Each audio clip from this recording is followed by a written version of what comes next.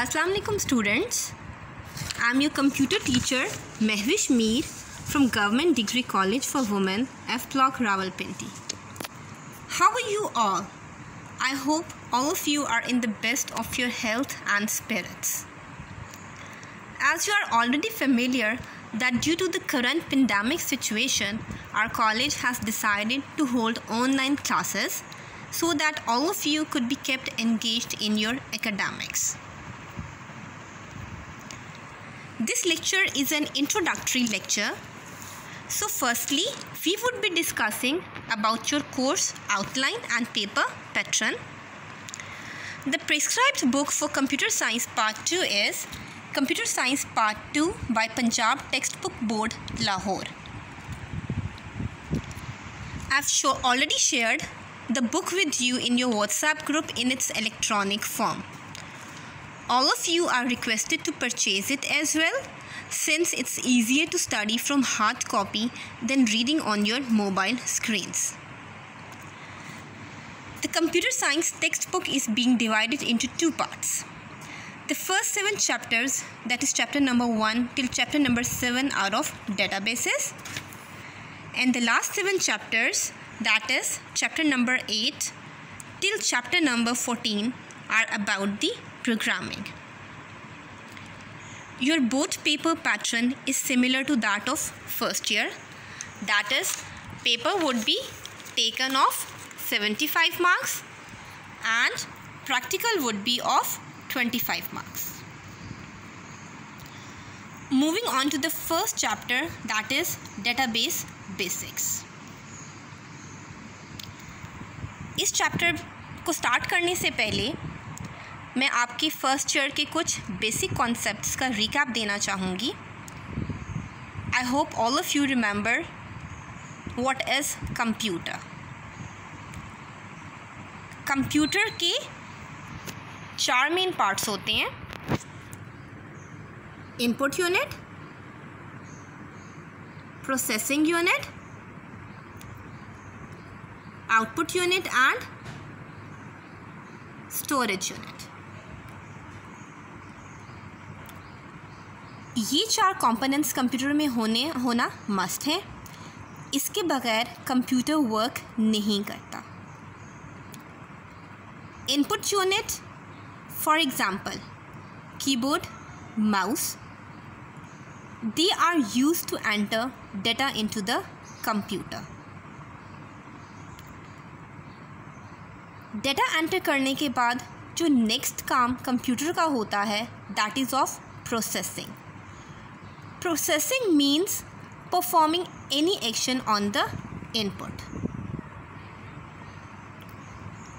processing के बाद जो हमें चीज़ एज एन आउटपुट मिलती है मीन्स कोई भी काम जब डाटा पे कंप्यूटर परफॉर्म करता है तो एज अ रिज़ल्ट जो भी हमें मिलता है we call it an output और ये आउटपुट हमें डिफरेंट आउटपुट यूनिट से मिलता है. For example monitor screens printers plotters these are all the examples of output unit ये आउटपुट यूनिट हम टेम्परली भी और परमानेंटली भी अपने स्टोरेज यूनिट में स्टोर कर सकते हैं.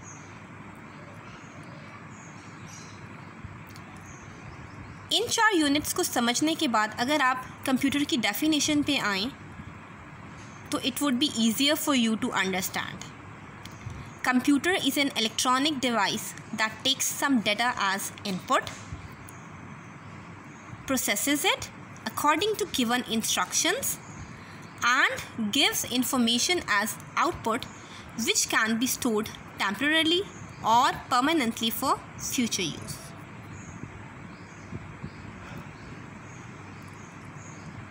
Very small definition of computer is an electronic machine which can convert data into information is called computer.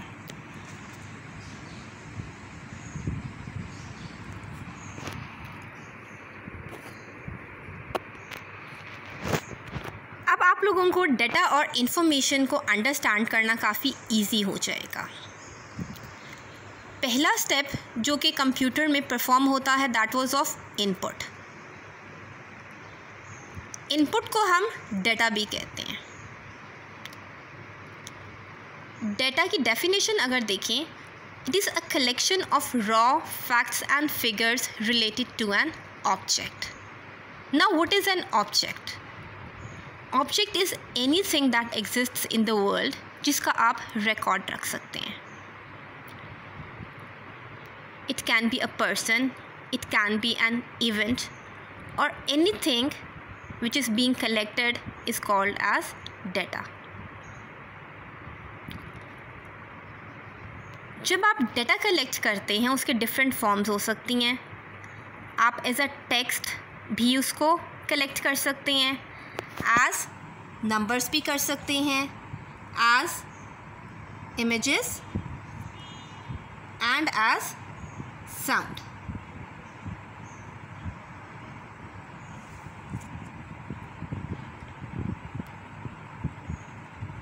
So after collection of data in the form of text, numbers, images, sound and videos which is given as input into the computer, the computer starts processing it. Processing में क्या है आप जब भी processing करवाते हैं तो computer basically उस डेटा पे कुछ ना कुछ वर्क कर रहा होता है और वर्क करने के बाद वो हमें कुछ मीनिंगफुल चीज़ एज एन आउटपुट देता है, जिसको हम कहते हैं information so data can be processed to produce useful information अच्छा जी data why is data important किसी भी ऑर्गेनाइजेशन में जाएँ, आपको डिफरेंट टाइप्स ऑफ़ डाटा मिलेंगे. एम्प्लॉयज़ का डाटा हो सकता है, उनकी सैलरीज़ का डाटा हो सकता है. ऑर्गेनाइजेशन इट्सेल्फ का डाटा हो सकता है। फॉर एग्ज़ाम्पल आपका कॉलेज एक ऑर्गेनाइजेशन है। इसमें स्टूडेंट्स का जो रिकॉर्ड है, आप लोगों के नेम्स हो गए, आप लोगों के रोल नंबर्स हो गए, आप लोगों के एड्रेसेस हो गए they all can be termed as data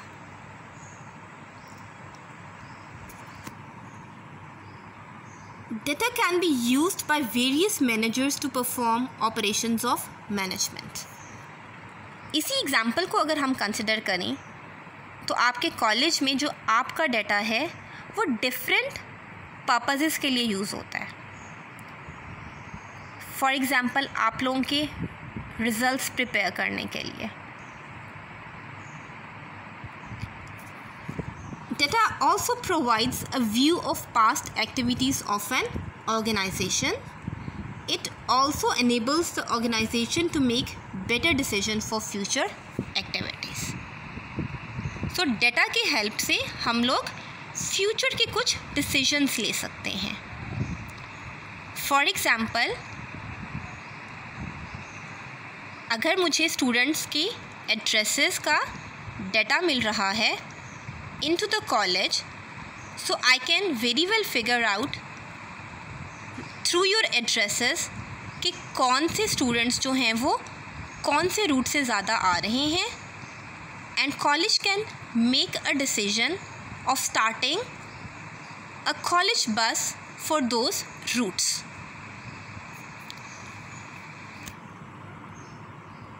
data is collected from multiple sources college में यूजली डेटा कैसे कलेक्ट किया जाता है? ड्यूरिंग योर एडमिशन, आप लोगों से फॉर्म्स फिल करवाए जाते हैं, जिससे आप लोगों का डाटा हमें मिल जाता है। डिफरेंट ऑर्गेनाइजेशंस के डिफरेंट वेज हो सकते हैं to collect the data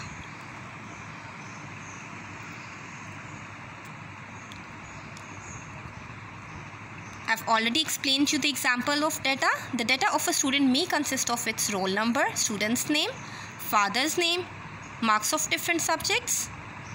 The purpose of collecting this data is to maintain the record of the student during the study period.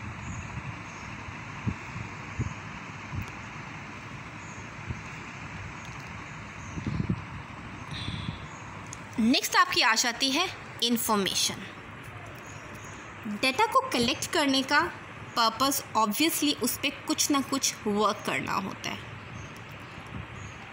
Computer में भी इसी तरह जब हम डेटा, जिसको हम इनपुट कहते हैं एंटर करते हैं तो computer performs some task on them and then we get an output in the form of information for example marks of different subjects of each student is a kind of data. Now if I want to make your result, I would process it by adding all of your marks and I can calculate the percentage by dividing the obtained marks with the total marks and then multiplying it with the 100. So at the end after processing I get your total marks as well as the percentage. इस situation में total marks or percentage that can be termed as information. Students information और data के बारे में मैं आपको एक और चीज़ बता दूँ कि ये दोनों वर्ड्स इंटरचेंजेबली अक्सर यूज़ होते हैं for example sometimes the information becomes data again let's suppose I got the percentage of students as an output. After few days, I want to calculate your grades out of that percentage. पहले percentage मेरे पास as an information as an output आ गई थी। अब उसको मैं दोबारा as a data consider करूँगी because उस पर मैं कैलकुलेशंस करके ग्रेड्स कैलकुलेट करूँगी। So percentage in this situation becomes the data and the grades that are calculated from the percentage is information so whatever we get after processing is termed as information or output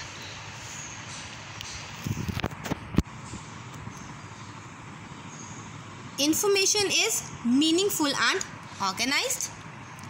It is used for making decisions. For example, when I got your percentage or I got your grades, I can decide that whose admissions are to be sent to the boards.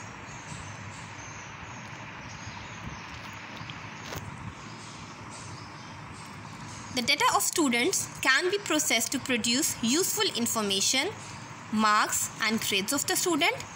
It can also be processed to find the number of passed and failed students.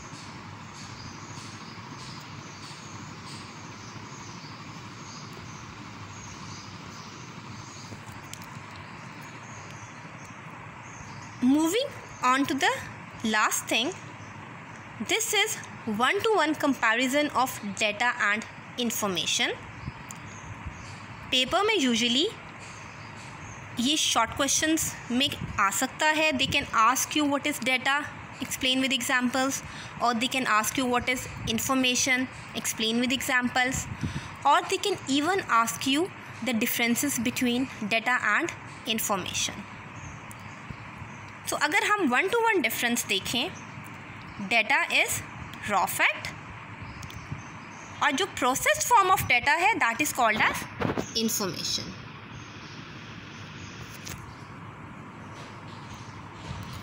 data may और may not be meaningful और information क्या है? That is always meaningful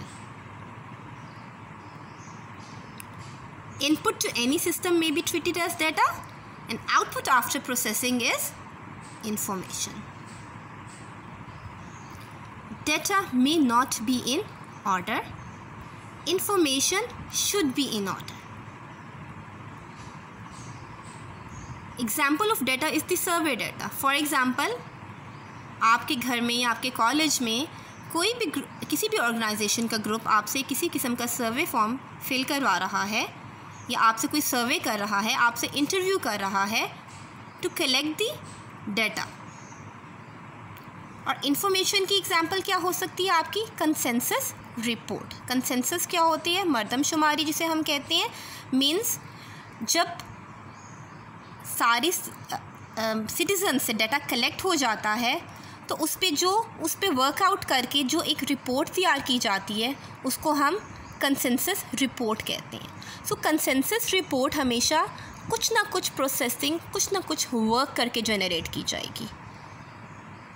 So consensus report is definitely the report which is formulated by working on the collected data This is all about today's lecture, girls. Hopefully, you all are pretty much clear about your course contents as well as the topic that we have studied, which is data versus or data and information.